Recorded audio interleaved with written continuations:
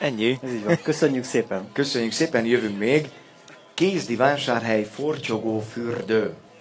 Gyakorlatilag a Fortyogó fürdő kapcsán volt a tavaly az Aquarius, tehát a borvízverseny és a palacsinta készítő verseny helyszíne, illetve mondjam azt, hogy a otthona a tavalyi versenynek, és a Fortyogó fürdőjek eljöttek Sepsiszentgyörgyre is, aminek mi nagyon-nagyon örvendünk, hát akkor egy kicsit marketingeljük meg a terméket, hogyha fogalmazhatok így, azaz kérlek szépen mutatkozzatok be, és meséljetek egy kicsit akkor a borvizetekről. A bemutatkozás az nagyon hamar fog menni, mivel három Attila és egy Csaba jött el. Ugye neveket meg lehet hamar jegyezni, és a tudomásunk szerint az egyedüli fiú csapat vagyunk itt.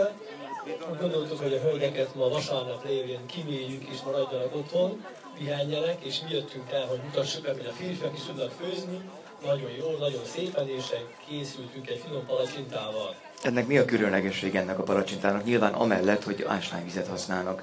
A különlegesség az, hogy egy spanyol recept szerint jöttünk el, és a spanyol recept szerint főzünk, tehát ilyen szerintem így sehol sincsen.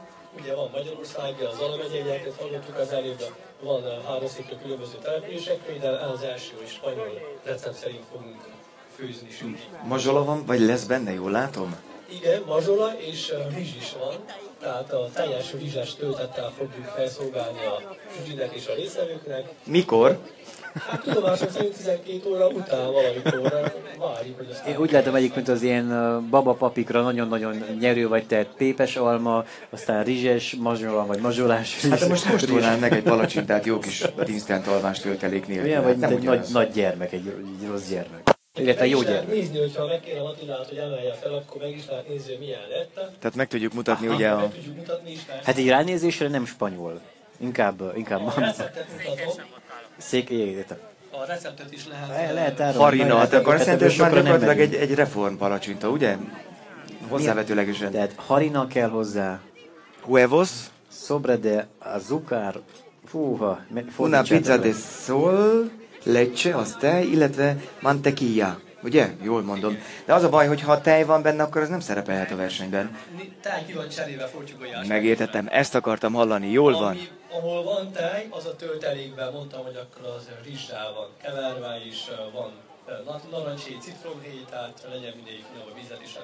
Jövünk ide is, jövünk vissza ide is. Abszolút, abszolút. Na, Jó. nagyszerű, örvendek, ügyesek vagytok.